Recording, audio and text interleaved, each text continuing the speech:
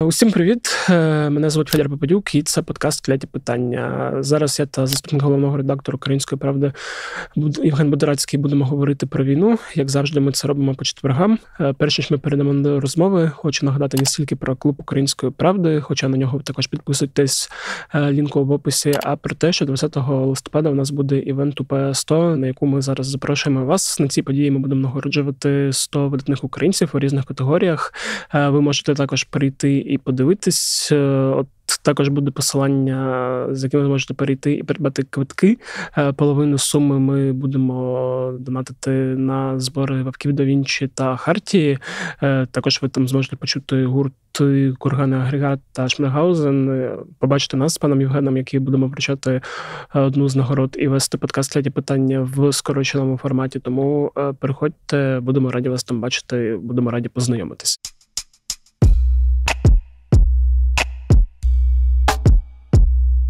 Пане Євгене, вітаю знову. Е, давай Привіт. поговоримо з тобою про фронти. Ми давно не починали з обговорення фронтів, і мені здається, що зараз ситуація якраз така, яка потребує більшої уваги до цієї теми, і проговорити знову, що відбувається як на Куп'янському напрямку, на е, Курахівському напрямку. і детально пояснити, в чому там проблеми, і чому ті, хто дивляться за мапою Deep State і читають е, щоденне зведення з фронту, бачать, що там і там, і там є проблеми, і доводиться десь відступати, десь е, підривати дамби, і ну, взагалі е, якось стримувати тиск росіян, який не припиняється, і під яким доводиться трошки відступати.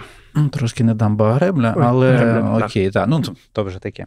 Е, Так, в нас насправді на фронтах ситуація трошки, якби, трошки ще погіршилась.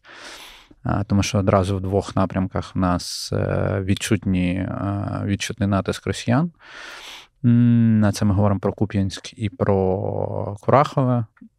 Власне, головна, напевно, подія там вчорашнього дня там виходить, там, що росіяни такі забігли в Куп'янськ. Тут я Насправді, ті хлоп, ті хлопці, які, з якими я постійно спілкуюсь, вони якраз з того напрямку на на даний момент вийшли. Тому я тут можу послуговуватися тільки тим, що говорить State, умовно про те, що там трапилось, та що росіяни в з Лиману Першого і з Сіньківку якби обійшли і спробували протиснутись безпосередньо в Куп'янськ, і, начебто, їм це вдалося на певний проміжок часу. Вони потім були звітом вибиті, але сам факт того, що вони пройшли там е, стільки, напевно, місяців. Таку міцну сінківку обійшли, та, це вже такий тривожний доволі сигнал, тому що це там свідчить про те, що рух їхній може продовжитись.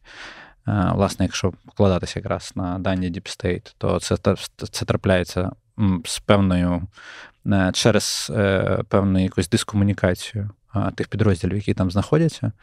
Е, власне, Deep State пояснює, що там повна дезорганізація в певних на певних ділянках, і немає комунікації між тими підрозділами, які там стоять. Тому я не знаю, ну тобто настільки я не знаю, наскільки це загрозливо, але сам факт того, що там DeepState вже говорить, що ДБР СБУ має зайнятися е, там діями тої бригади, яка відповідає за той напрямок на даний момент, то це вже такий. Е, достатньо поганий сигнал, але як я розумію, то в Генштабі знають про цю проблему і намагаються її вирішити з одного боку. Та? Але це той напрямок, за яким треба дуже сильно слідкувати, тому що якщо подивитись нижче по карті, тобто південніше піти е, Оскол, якраз вони розширюють свій е, плацдарм нижче в районі Сінькового, це нижче там, де переправа. Там, ймовірна переправа могла би бути, але я так розумію, так як я раніше говорив, що, скоріш за все, вони підуть просто по пів, північніше, будуть рухатись по річці Оскол по лівому берегу, просто щоб його зайняти і витискати просто наші війська звітом. Але те, що вони зверху заходять, підходять до лівобережної частини Купінська, це достатньо погано. Це з одного боку. З другого боку, є Курахове. Ну, тобто, там ситуація теж е, достатньо загрозлива в плані того, що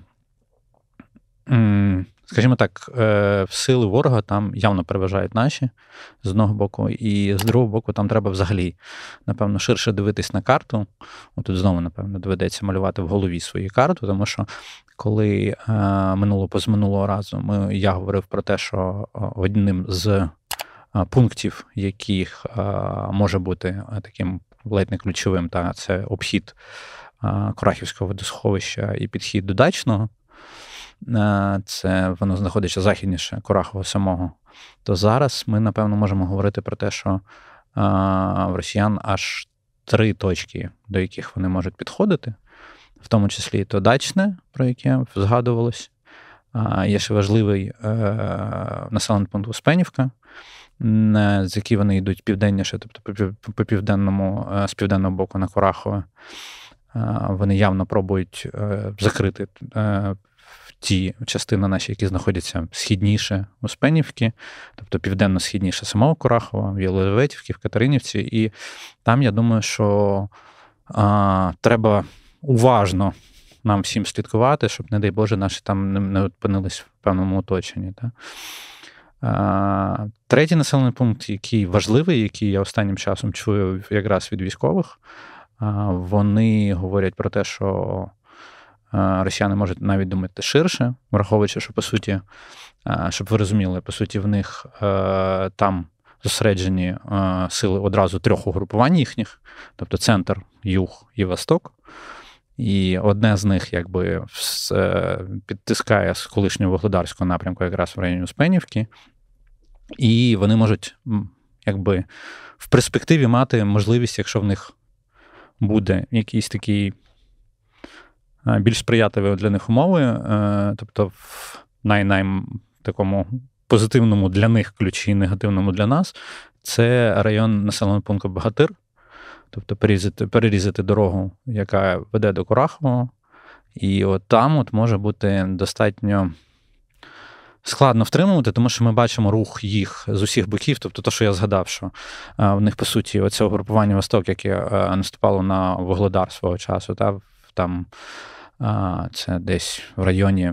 Приблизно, я зараз буду приблизно перевати цифрами, тому що я не є таким прям знавцем великим технічних деталей, там, умовно, як Машавець, наприклад, а, який може це все прям чітко розкладати з підрозділами всім іншим. Але ну, десь в районі 30 тисяч підпирає з південного боку, і десь в районі 30-35 тисяч росіян підпирають з північного боку.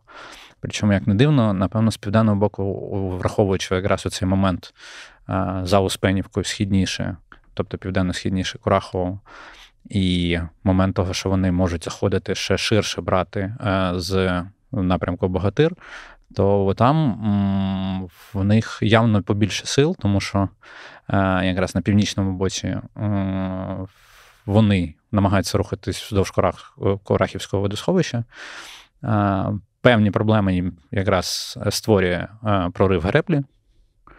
Е, тому, але наскільки вони там глобальні для них, на жаль, напевно, не настільки глобальні, як могло би е, здаватись, тому треба уважно слідкувати за Хораківським напрямком, бо якщо ви так просто собі прикинете в цифрах, це десь 60-65 тисяч росіян тиснуть там умовно на, на саме на цьому напрямку, а це, напевно, одна з найбільших цифр, яка є зараз у нас на фронті, тиску росіян. Тому що там десь по інших напрямках 20-30 тисяч вони тиснуть. Тут вони тиснуть так сильно з усіх боків. І я думаю, що вони хочуть це там до кінця листопада спробувати закрити цю всю історію для них. Сподіваюсь, що в них це не вийде. Е, погода і її погіршення на темпи просування ніяк зараз не впливають, бо я так розумію, ну осінь вже всюди і на сході. Звісно, впливає. Впливає все. Ну тобто, цей рух е, значно такий якийсь. Е, він сповільнюється, але він сповільнюється якраз більше на відкритих просторах, ніж на там, міських боях, умовно. В Кураховому ми бачимо, що вони зі сходу міста вже заходять в місто, і ми бачимо знову повтор цієї тактики. Ну, тобто, це вже, напевно, тенденція, е, яка підтверджується, що вони так робили в Селідовому, так вони намагаються робити в Кураховому. Це захід міста малими групами, закріплення в будь-яких будівлях, яких тільки можна закріпити з цими малими групами, накопичення, накопичення, накопичення. А потім, вже, коли вже накопичились до певної якоїсь маси, якої їм потрібно, то вже вдаватись до більш активних масових штурмових дій. Тобто ми це бачили в Селідовому в певний момент. Зараз ми бачимо це в Кураховому. Тобто, і це достатньо складно, тому що, попри те, що всім здається, що в міській смузі заборонятись деш... ну, якби трошки е... легше, та? але це, якщо у вас є повний, е... повна штатка, повний набір, тоді це. Про це можна говорити, що в, місті оборонятись легше. Але якщо у вас немає повної штатки, то в місті це може бути навіть складніше, ніж на відкритій місцевості, оскільки. Е, Ну там, щоб не сильно вдаватись там в подробиці, але коли ти е, там в кругу може стати десь там е, на відкритій місцевості, то будь-яка будь-яка щілина в місті вона перетворюється на велику проблему, в яку е, росіяни можуть забігати як таргани. В принципі, те, що вони якраз робили всі людьми, роблять в Кураховому. І от, попри. Е, Очевидно, то, що міська забудова може бути слугувати якимось таким е, фортифікаційним якимось захищенням, але коли в тебе недостатньо особового складу для того, щоб на всі позиції поставити е, оборони, тоді це стає значно складніше. Хочу ще такий момент уточнити. От там сьогодні, наприклад, виходило на українській правді інтерв'ю. Це більше стосувалося Курщини з замком батом 95-ї бригади. Там в заголовку винесено, що ворог несе величезні втрати, а мені. Е, як це взагалі зараз відбувається на Донеччині, на тому ж Купінському напрямку і на Курахівському? Е, це теж можна сказати, що ворог несе величезні втрати, але за рахунок переваги вони можуть все ж таки собі дозволити, попри пролізти, закріпитися, накопичити і прориватися далі. Чи е, ситуація зараз така, що там через е, певні проблеми з чисельністю особового складу, ну, взагалі військових, які е, в силах ЗСУ, е, там через проблеми, можливо, з забезпеченням чи озброєнням доводиться просто відступати і відступати. Е, ну, знаєш, є така збита фраза, ну, типу, про те, що що вони йдуть штурмувати м'ясом, та, в принципі, так і є. Ну, Тобто, у них є чисельна перевага, вони собі можуть це дозволити. Е, Наскільки сильно вони можуть це дозволити? Це питання досить відкрите. Але тут ми включаємо зараз елемент політики, та? Е, тобто, явно е, росіяни хочуть встигнути до певних дат. Я так підозрюю, що до інаугурації Трампа, скоріш за все, е, максимально вхопити, вкусити, закусити все, що можна. Ну, тобто, все, що вони можуть взяти, вони будуть пробувати це робити, скоріш за все, е, до якогось політичного моменту. Тому звідси масовані ці штурми прям е, м'ясом, е, не озираючись на втрати ні на що. А то, що говорив е, замкомата 95-ї бригади пан Горець, ну то ну, достатньо ну, тобто це класика військової справи в плані того, що в обороні втрати менші, ніж в, в атаці, і при цьому атака теж може бути різною. Тобто наступаючі сили, вони можуть, от як знаєш, типу, от як росіяни бездумно десь лізти, десь думно, десь бездумно. А якщо ти не зважаєш на те, скільки ти людей втратиш, то в принципі в тебе втрати зразу стають не один до трьох, там, а один до п'яти. І якщо нормально е, закріплені і нормально працюють е, підрозділи, які вміють е, вміють у війну, як кажуть, та, то тоді сили е, і засоби противника ще значно швидше. Що ми бачимо, до речі, е, місцями на Курахівському напрямку, е, там, де 46-79 бригада працюють. Та, Просто я хочу нагадати, е, що ми бачили досить тривалий термін, коли 46-79 бригада, переважно 79-та, стояла на Мар'їнці, якщо пам'ятаєте. Та?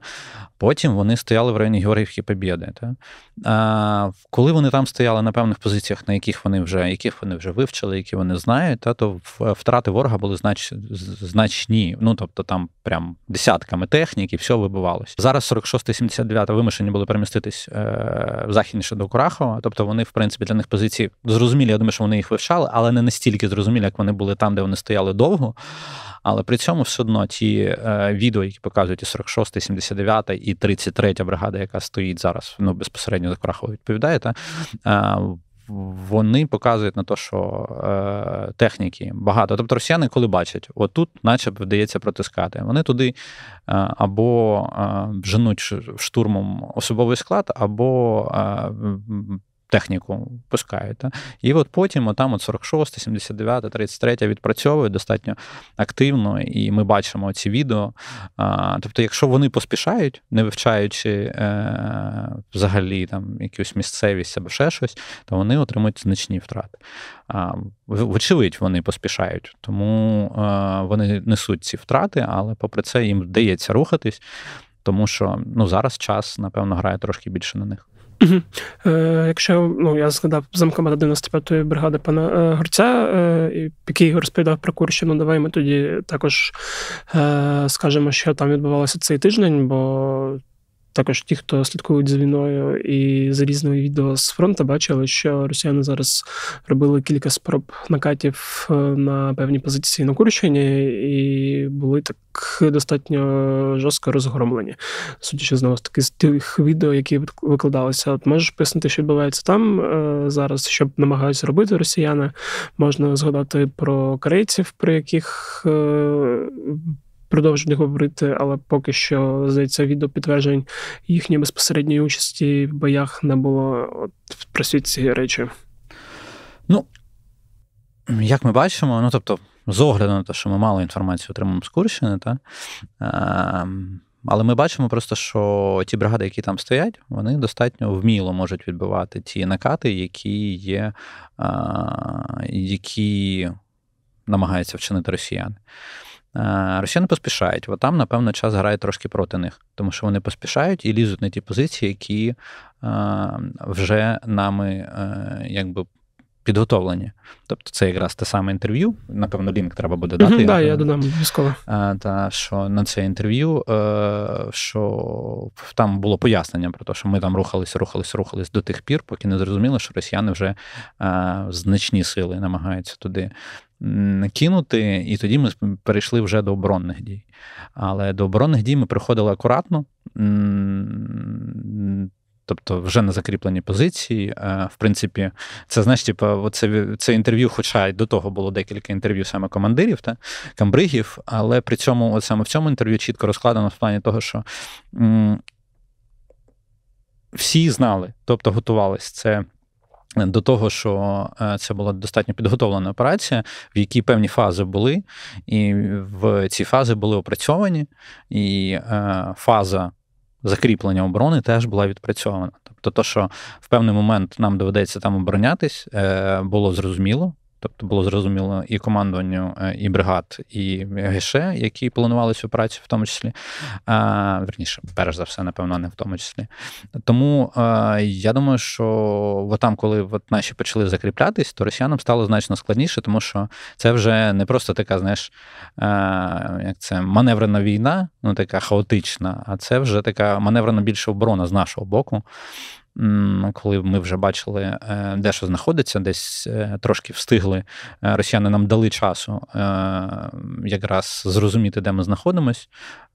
Якби на місцевості трошки розібратись, і тому зараз ми бачимо, як наші переважно теж як ми бачимо, так само, як на Курахівському напрямку працюють дві а, достатньо відомі десантні бригади, так само і на Курщині теж працюють а, достатньо відомі теж десантні бригади, інші а, разом там з іншими підрозділами. Що ми бачимо, що там якби все з головою відбувається.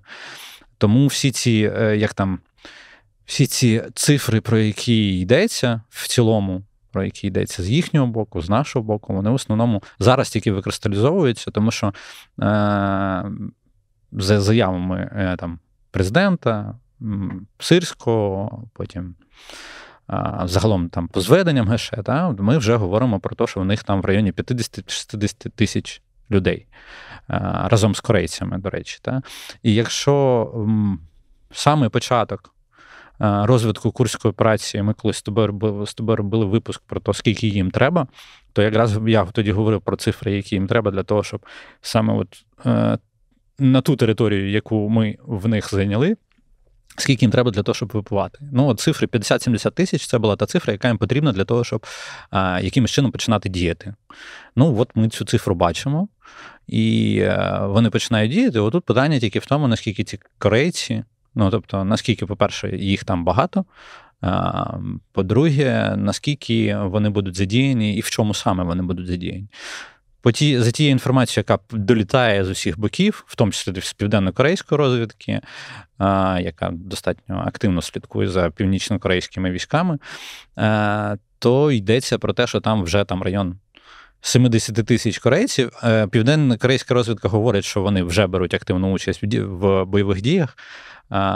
Дані ГУР з різних е, з різних його там кабінетів ГУР е, теж різняться, але в плані того, що чим більше вони будуть, напевно, задіяти тих самих корейців, тим активніше будуть бойові дії.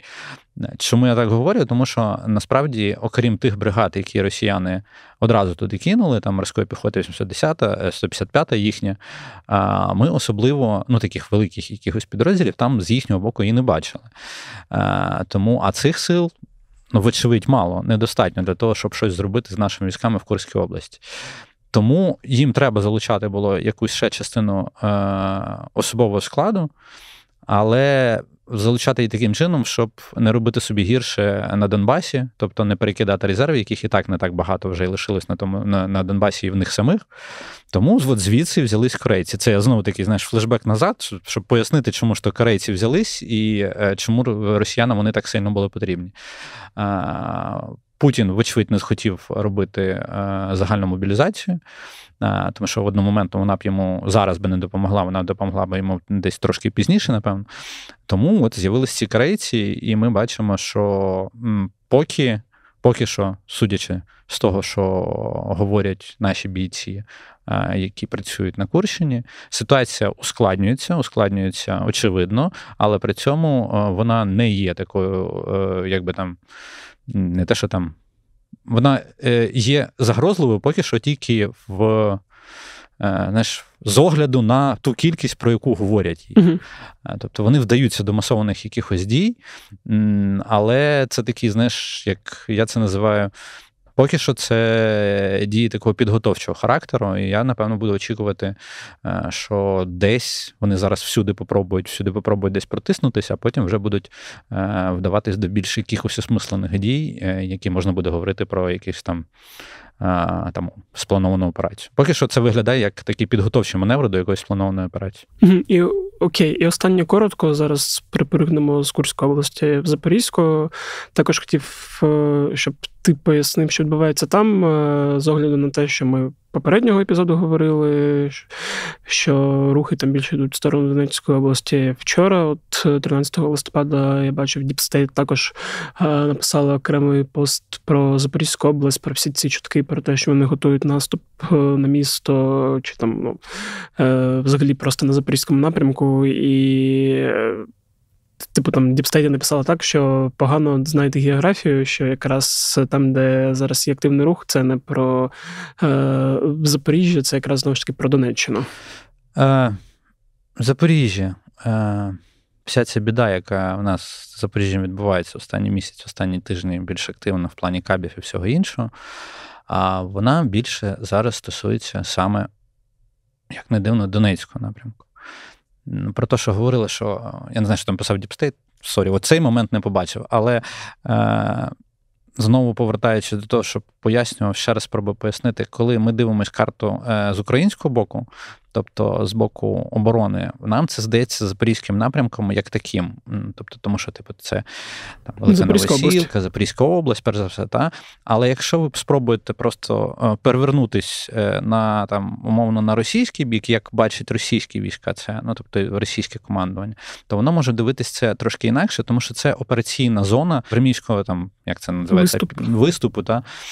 І от там якраз ви побачите, що всі їхні оці рухи, які в тому числі є з їхнього там концентрованого того запорізького напрямку, та вони всі відбуваються в основному от в той в той куточок, який межує саме з Донецькою областю. Тобто всі ці дії вони мало поки що зачіпають саме напряму Запорізьку область, але вони більше чіпляють оцей от, е, цей виступ для того, щоб працювати саме по Донецькій області.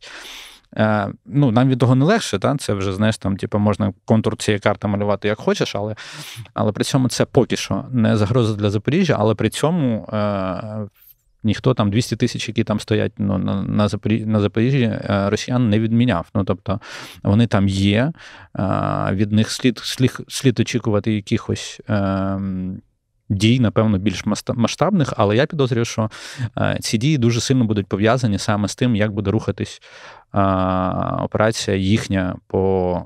Для них ліквідації Курахівського, Курахівської ділянки. Тобто, е, якщо в них буде е, добре виходити на Курахівській ділянці, тоді можна буде говорити більш прискіпливо про запорізькі напрямки, про Бердянський, про Мелітопольський, на яких да, відбуваються там дергешні вилазки. Е, ну, Це теж там, знаєш, типу, вщупати, готувати щось. Тобто я впевнений, що вони хочуть. В голові своїй мають те, що вони, те, що вони, е, то, що ми в нас вдалося відбити в моменті 2023 року що їм дуже хочеться і дуже кортить це все е, замалювати назад, щоб потім сказати, що всі ваші оці контрнаступи, це все е, от от закінчилось. Ну, типу, такого. Все, що ми зараз бачимо, це напевно дії про Донецьку область, ніж про Запорізьку. Але Запорізька і Запоріжжя, в тому числі там і Оріхів, Оляполе, і все, все, що все, що прилітає дуже активно, воно страждає з огляду на те, що а логістика та йде дуже часто саме звітом. І тому всі ці удари і по Запоріжжю більше того, скажу, по Кривому Рогу, да? і по всьому це йде удари по логістиці, по тому, щоб відбивати е, можливість е, якогось е, ресурсу, який ми можемо додати нашим військам саме на Донецькому напрямку. Е, зрозуміло. Тоді за цим також будемо слідкувати далі. І тут е, прекрасний момент сказати, що якраз про ресурси і допомогу з ними, що наш збір для 55-ї артилерійської бригади Запорізька Січ е, на систему Реббомбокс майже на фінішній прямій. Там залишилось десь тисяч десять е, дозбирати, тому я дуже попрошу вашої активної участі, щоб е, ми якомога швидше цей збір закрили і вже наступного тижня змогли купити реп, відправити його е, хлопцям, і вони змогли його використовувати. Ну і також нагадую, що до наступного епізоду у вас все ще є шанс. Отримати футболку з підписом Артема Довбика за донат 500 гривень, або там за донат 1000, якщо ви хочете подвоїти шанси, чи 2000, якщо е, збільшити їх в 4 рази. Е, власне, кидайте ваші 500 гривень на монобанку. Е, обов'язково пишіть, хто ви, як з вами зв'язатися, якщо ви хочете отримати. Якщо ні, то кидайте просто так 500 гривень. От е, будемо вже наступного четверга оголошувати переможця і казати, кому відправиться ця чудова футболка. Ну і дякую всім, хто кидає. В принципі, от за цей е, там три тижні чи трошки більше вже змогли назбирати. Суму, яку ми звичайно збирали два місяці. Дякую всім, хто долучився. Е, хлопці з 55-ї також вам дуже вдячні, і ви це ще побачите. Ем, давай рухатись далі. Тепер хотілося поговорити про обстріли росіян, е, але не так як ми говорили в попередньому епізоді, коли згадували шахеди, різні безпілотники, а про підготовку їхньої стратегічної авіації, так розумію, до якихось масованих обстрілів, бо цього тижня були вже е, зліти, була вже балістика. Я правда проспав і не почув на щастя нічого.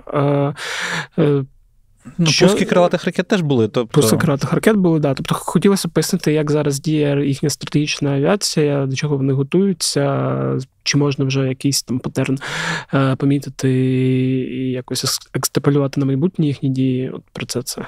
Ну, дивись, е, у нас сталося два виліти стратегічної авіації. Ну, верніше, їх сталося три чи чотири, та? але мається на увазі з виходом на пускові позиції.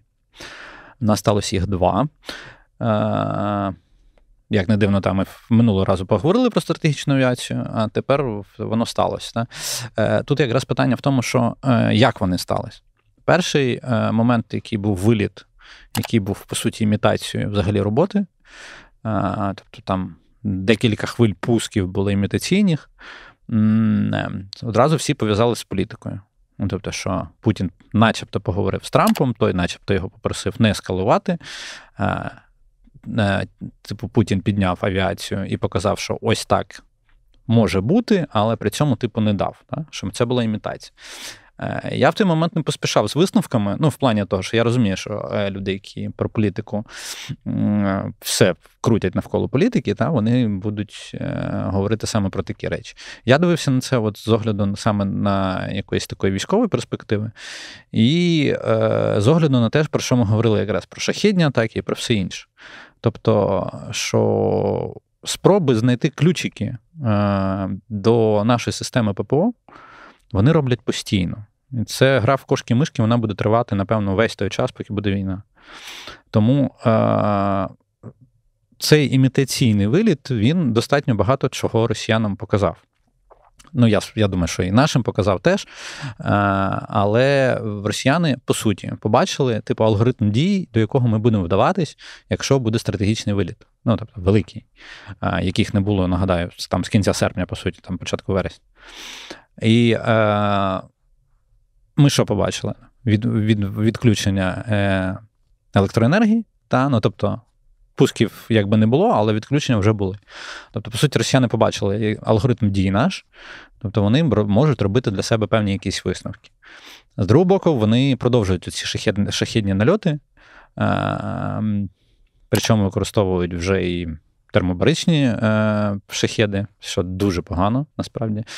Я думаю, в нас там, здається, було і текст, і новина, і текст про них. Ну, типу, що алгоритм дій е, з.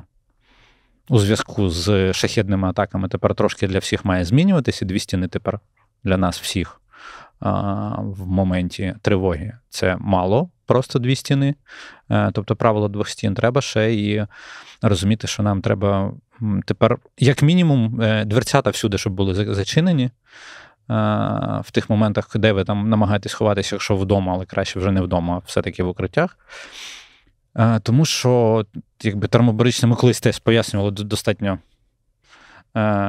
широко та, пояснювали, як це працює, але працює е, ще раз, якщо коротко сказати, що це виходить так, що воно спочатку залітає, ну, типу, там, якби запускає оцю рідину, яка, по суті, там Е, да, взаємодія, ну, а потім воно швидко це запалює. Тобто, це така і вона спалахує одномоментно, і в тебе такий така вогнене, вогневий вал виходить. І тому тут, тут правило двох стін мало спрацьовує, тому що воно заповнює всі площі, е, всі площі, які відкриті, по суті. Саме тому говорять про зачиняти тепер двері, якщо раптом ви все-таки не йдете в укриття, а пробуєте просто якось а, якимось цим методом двох стін або що інше, що до цього додається. Але це, ну. Це от ми відклали такий момент в плані того, що можете в нас теж на сайті пошукати е, більш детально прописано, як це все може відбуватися. Я тут тільки єдино хотів уточнити, а як вони це перекрутили до шахедів, і яка там кількість цього заряду, і наскільки ну, це взагалі Ну, тобто ми і так говорили про те, що в цілому термобрістика вона не не сильно гуманна зброя, тому як відбувається цей процес, запускати її ще по, ну, по містам. Це Ну, Взагалі якийсь перебор, мені здається. Ну, перебор не перебор, але я тобі дещо скажу, що якби при всьому переборі, та, ну тобто, що це прям максимально негуманно, е, росіяни до того готувалися достатньо давно. Про термобаричні е, оці е, додатки, скажімо, до шахедів замість їхніх прямих оцих от фугасних частин, та, говорили ще десь дай Боже, щоб правильно згадати, десь ще з весни цього mm-hmm. року. І причому ще з весни цього року е, цифри, які подавала. Е, по суті, е, навіть це не розвідка, а подавалось, по суті, в їхніх тендерних документаціях, то подавалось десь, що ем, з просто стандартними бойовими частинами вони замовляли, вони там собі запланували десь до 7 тисяч шахедів на той момент навесні, та? а з, з термобаричною частиною десь 2,5-3 тисячі. Ну, тобто, це не так мало. Тобто, це не такий от одиничний якийсь варіант, як комусь здається, а це саме багато. Тому де саме буде працювати стандартний десантно термобаричний, ми навряд вочевидь не можемо зрозуміти, тому е, треба бути дуже акуратним з цим. Плюс додається до того ці всі гербєри, ці всі гавної палки, які вони ліплять виключно для того, щоб пошку нашу е, замучити. І е, це все це такий великий, великий, великий комплекс того всього, про що е, ми доволі довго говоримо. Е, і це все таки, знаєш, велика підготовка до, якогось великого комбінованого е, комбінованої атаки, яку вони можуть здійснити. Е, чи відбудеться вона е, швидко, я не знаю. Ну, тобто, чи це буде залежати від погодних умов? Я просто всім нагадаю, що. Е, минулого сезону вони вирішили бити нас не взимку, коли всі цього чекали, а вже навесні, коли все все перейшло. Та? І тобто, і було це весна-літо і зовсім інший період. Тут, напевно, з огляду тепер, повертаючись до політики і до всього, якщо вони захочуть нам показати, що вони можуть так би мовити, та, то це може статись якраз все ж все, все ж таки десь е, в моменті похолодання якихось певних, е, ну, щоб ще більше ускладнити нам е, взагалі життя. Плюс до того всього, треба розуміти, що було відбувалося ці два виліти. Перший був імітаційний, а другий був неімітаційний, тобто в другому вони загалом до шахедів і до стратегічної авіації вони е, в першому там міги злітали, а а в другому злітали і міги, і сушки, і вони ОТРК діставали, ну тобто розгортали, і північно-корейська балістика летіла. Тобто, по суті, вони, знаєш, такі. Це я це таки б сказав, не знаю наскільки генеральна репетиція, але е, це точно якась така, якісь такі там репетиційні дії до чогось великого. Тому що вони пробують е, з різних боків подивитись на те, що ми можемо, що в нас є, і е, потім щоб, і потім з цим всім, щоб робити висновки і як діяти. Тому оці виліти, які, е, начебто, для декого здались типу, не такими масштабними, як хтось там думав. І я би просто цим всім людям, на превеликий жаль, порадив би не поспішати з висновками, тому що. Декілька тижнів тому ми говорили, скільки в них може бути ще ракет. Тому я думаю, що ракет там багато, на превеликий жаль, але якщо вони ще будуть е, це робити з таким великим великим комбінованим ефектом: шахеди, балістика, е, міги, е, тушки, сушки, якщо це все разом піде, то буде ой-ой-ой, як не солодко. Тоді вся надія на ППО. В принципі, в контексті ПБО також можна додати новину про тайванські хоки, які мають придати незрозуміло поки коли саме, але. З тайванськими хоками е, окрема історія. Ну, тобто, перш за все, ЗРК Хок передавались нам переважно Іспанії. Угу передавалося не в таких великих кількостях, та? але при цьому, я так розумію, ну, Тайвань напряму нам нічого не буде передавати. Тобто, ясно, що це через цю карусіль буде, uh а, тобто через третіх якихось постачальників і все інше. Але той висновок, який е, зробив Forbes, якщо я не помиляюсь, та?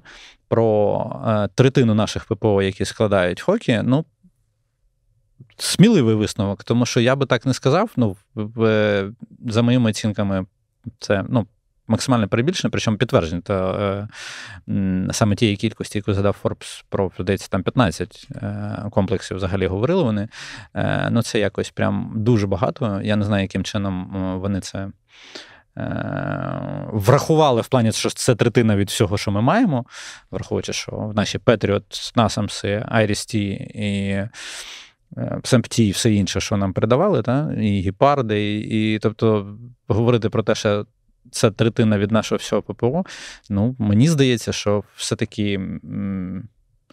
Навіть якщо там зважати на ту кількість, яку вони вписали, але мені здається, що все одно це не третина. Ну, тобто, це частина якась, але не третина.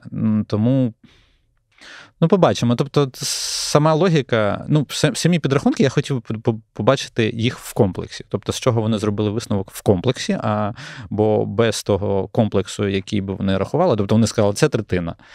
Окей, третина від чого? Де ви все все разом це все порахували? Якщо б вони показали е, свої там методології, що я завжди, е, я завжди всіх, е, до речі, всіх колег. Е, авторів, журналістів е, завжди прошу, якщо ви вдаєтесь до цифр третина, половина і всього іншого, то розкажіть мені про методологію, за якою я це можу просто верифікувати і перевірити. Ну, поки що я не побачив, не можу ніяк верифікувати того, що написав Форбс про хокей з Тайваню. Та? Тому я не можу тобі сказати, наскільки це правдива інформація, наскільки вона підтверджена. Ем, що хоки в нас працюють, так в нас працюють. Чи працюють вони ефективно? Так працюють ефективно. Ем, чи це третина ППО? Я думаю, що ні. Ну, да, тут е, про ці цифри також нічого казати не беруся. Єдине, що хотів проговорити, просто той факт, що через Тайвань ми можемо отримати додатково ще якусь кількість, і це е, про те, що підсилить наше ППО. Е, Я думаю, що кілька тем проговорити коротко, згадати, мабуть, е, підрив е, капітану першого рангу в окупованому Севастополі. Е, Приємна для нас подія, я так розумію, організована українським е, спротивом за підтримки або ГУР, або СБУ. Я не пам'ятаю, хто взяв на себе. Спец... Це називається спецпідрозділ. Спецпідрозділ, так.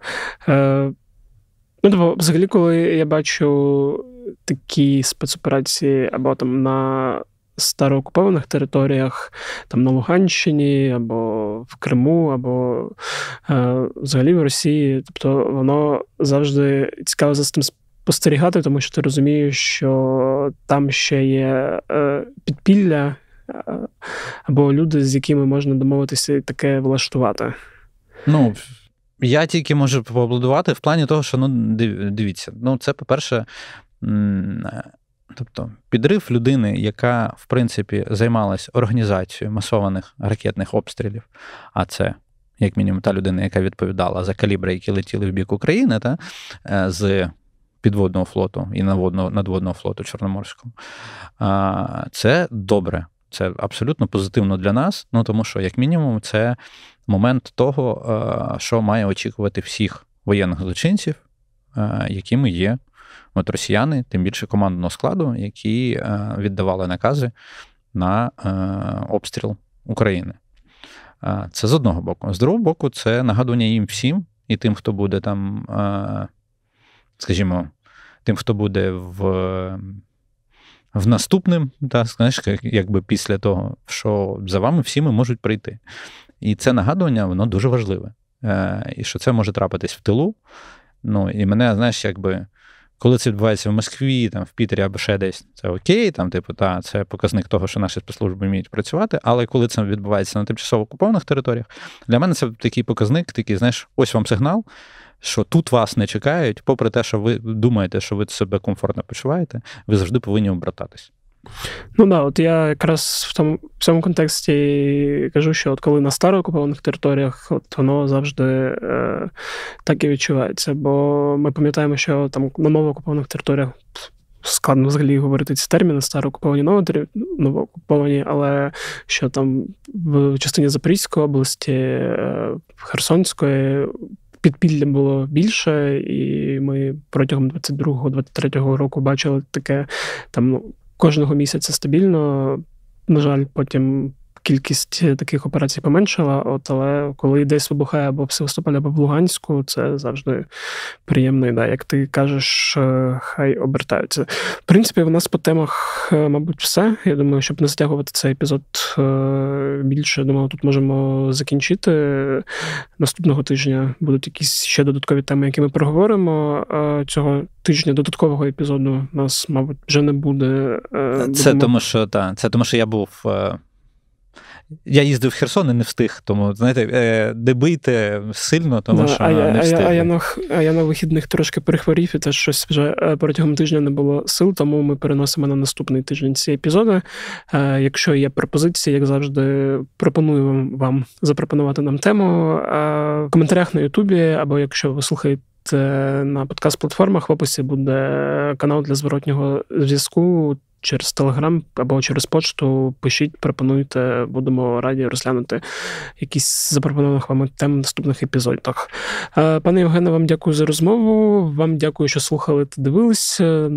Ще раз нагадую, що якщо ви на Ютубі, то пишіть коментарі, ставте оцінки, е, діліться цим епізодом з друзями. Коротше, робіть всі ці ютубні активності, які допомагають відео просуватися. Нам воно потрібно, і в принципі потрібно всім, хто слідкує за війною, щоб е, цей контент потрапляв в е, якомога на ширшу аудиторію. Якщо ви слухаєте на подкаст-платформах, не забувайте ставити оцінки та писати коментарі на Apple Podcasts. Е, ще раз нагадую про наш збір. Нам залишилось дотиснути прям от е, зовсім трошки, тому допоможіть, чим можете прямо зараз. Е, Нагадую про клуб української правди і про наш івент УП 100 е, на який ви можете прийти. Е, Побачити нас, е, побачити, як відбувається нагорода, і побачити е, подкасти, які ми будемо записувати разом з колегами з переможцями УП 100 Ну і власне зможете підтримати також Хартію та Вавхів до Вінча. А на цьому все. З вами були Федір Попадюк та Євген Будорацький. Е, почуємось наступного тижня і бувайте здорові!